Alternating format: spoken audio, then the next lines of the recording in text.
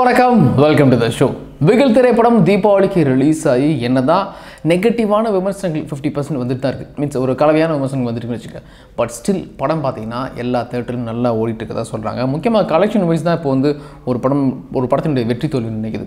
அப்படி பார்க்கும்போது பிகில் திரைப்படம் நேத்தோட நேற்று கலெக்ஷனோட இரநூத்தம்பது கோடி க்ராஸ் பண்ணிடுச்சு அப்படிங்கிறது பார்த்தீங்கன்னா சான்ஸே இல்லை. இந்த வருஷத்தோட அதிகமாக கலெக்ட் பண்ண படம்னா அது பிகில் திரைப்படம் தான். சந்தேகமே இல்லை. ப்ளஸ் இந்த வாரம் பார்த்தீங்கன்னா பெருசாக எந்த படம் ரிலீஸ் ஆகும் சொல்லிக்கிற மாதிரி பெரிய பட்ஜெட் படம் ரிலீஸ் ஆகும் மீன்ஸ் ஒரு எதிர்பார்க்கக்கூடிய படம் எதுவும் சொல்ல முடியாது. ஸோ இந்த வாரம் இதுலேயும் பார்த்தீங்கன்னா பிகில் திரைப்படம் வசூல் வேட்டையாடும் அப்படின்னு சொல்லலாம்.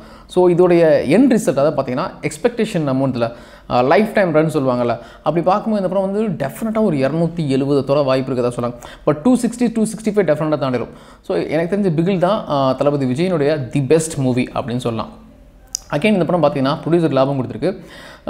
இனிமேல் இந்த படத்தை வந்து டிஸ்ட்ரிபியூட்டர் சைட்லேருந்து எனக்கு இந்த படம் லாஸ்னு சொல்ல முடியும். ஏன்னா டிஸ்ட்ரிபியூட்டர்ஸ் வந்து போட்ட காசை எடுத்துட்டாங்க. ஒரு சில இடங்களில் சின்ன சின்ன லாபம் கிடச்சிருக்கு. பட் பெரிய லாபம் இல்லை. அதுக்கு முக்கியமான காரணம் அதிகமாக விலை கொடுத்து வாங்கிறாங்க ப்ளஸ் இந்த படத்தினுடைய பட்ஜெட் தான். என்ன தான் இதில் ஆச்சரியப்பட வேண்டிய விஷயம் என்னென்னா இந்த படத்துக்கு என்ன தான் நெகட்டிவான விமர்சனம் வந்தாலும் டூ ஃபிஃப்டி க்ரோஸ் க்ராஸ் பண்ணிக்கிறது பெரிய விஷயம். அது யாருனாலனா அஃப்கோர்ஸ் தளபதி விஜய்னால தான். அவருக்கு இருக்கிற அந்த கேப்பபிள் க்ரௌட் புல்லிங்க்கு அந்த உண்டான அந்த அவ்வளோ பெரிய மாசு இருக்குது அவருக்கு. ஸோ இதில் நிறைய பேர் இப்போ ஃபீல் பண்ணுறது என்னென்னா இந்த படத்தை மட்டும் ஒரு நூற்றி இருபது கோடியிலையோ இல்லை நூறு கோடி பட்ஜெட்டில் இந்த படத்தை முடிச்சிருந்தாங்கன்னா அதாவது இந்த கால்பந்தாட்ட கதைன்னு கிடையாது. பிகில் அப்படிங்கிற ஒரு படத்தை ஒரு நூற்றி இருபது கோடியில் முடிச்சிருந்தாங்கன்னா இந்த படம் டிஸ்ட்ரிபியூட்டர்ஸ்க்கு ஒரு மிகப்பெரிய லாபம் கொடுத்த படமாக அமைஞ்சிருக்கும். ஸோ ஈவன் எண்பதுகள்லையும் தொண்ணூறுகளையும் சரி ரஜினி சாருக்கும் கமல் சாருக்கும் நடந்திருக்கு. ஏன்னா விமர்சகர்கள் வந்து ஆகா ஓஹோன்னு எழுதின படங்கள்லாம் பாக்ஸ் ஆஃபீஸ் ஃப்ளாப்பாக இருக்கும். பட் படம் சரியில்லைப்பா. நம்ம ஒரு ஓவர் கமர்ஷியலாக இருக்குது இங்கிலீஷ் படத்தை பார்த்து எடுத்த சொல்லி ஒரு சில விமர்சனங்கள்லாம் வந்து பார்த்தீங்களா அந்த படங்கள் அதிரி புதிரி ஹிட்டாக இருக்குது அப்படி தான் பார்த்தீங்கன்னா பிகில் திரைப்படத்துக்கு நடந்திருக்கு. அதாவது நெகட்டிவான விமர்சனங்கள் ஒரு சில இடங்களில் வந்துட்டு இருந்தாலும் படம் பார்த்தீங்கன்னா பெரிய லெவல் ஹிட்டு பட் ஒரே விஷயம் ஹை பட்ஜெட் மூவி அப்படிங்கிறனால பெரிய லாபம் கிடைக்கல. அது ஒன்று தான் குறை அஃப்கோர்ஸ் அந்த குறையை வந்து பார்த்தீங்கன்னா ஆஹ், விஜயனுடைய அடுத்த படம் போக்கும் அப்படின்னு நம்பலாம். நம்ம லோகேஷ் கனகராஜ் மாநகரம் கைதி திரைப்படத்தை பற்றி சொல்லவே வேணாம்.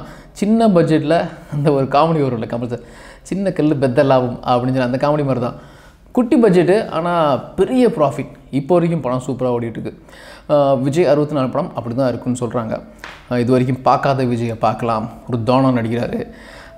அப்படி ஏன்னா வந்து தலைவா படத்தில் வந்து தான் மாதிரி கதாபாத்திரத்தில் வந்திருந்தாலும் எனக்கு தெரிஞ்சு இந்த படம் புதுசாக இருக்குன்னு தான் நினைக்கிறேன்.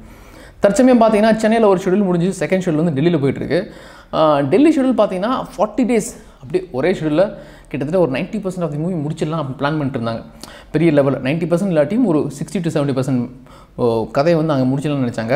ஆனால் இப்போ என்ன பிரச்சனைனா டெல்லியில் வந்து பார்த்தீங்கன்னா பொல்யூஷன் வந்து வந்து ரொம்ப ஒஸ்ட்டாக இருக்குது இந்தியாவிலே டெல்லியில் தான் பார்த்தீங்கன்னா அதிகமான பொல்யூஷன் அதுவும் இந்த டிசம்பர் சமயத்தில் பார்த்தீங்கன்னா ரொம்ப அதிகமாக இருக்குன்னு சொல்லுவாங்க. பனிமூட்டமும் அதிகமாக இருக்கும் தூசியும் அதிகமாக இருக்கும். அது நிறைய பேருக்கு ஒத்துக்காது. ஸோ அந்த பிரச்சனை இப்போதைக்கு போயிட்டு இருக்கிறதுனால இந்த ஒம்பது மணிக்கெலாம் ஷார்ட் வைக்க முடியல. பதினோரு மணிக்கு முன் முன்னாடி வரைக்கும் ஷார்ட்டே வைக்க முடியாதான்.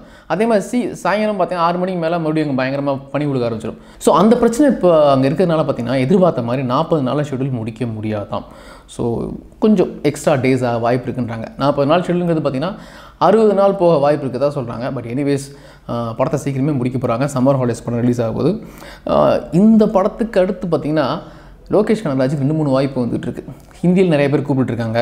கைதியை வந்து அப்படியே ஹிந்தியில் ரீமேக் பண்ணி கொடுங்கன்னு சொல்லி.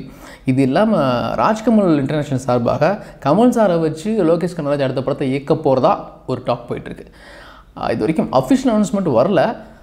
விஜயனுடைய அறுபத்தி நாலு படத்தை முடிச்சதுக்கப்புறமா கமல் சாரை வச்சு அவர் இயக்க போகிறதா சொல்கிறாங்க லெட்ஸ் வெயிட்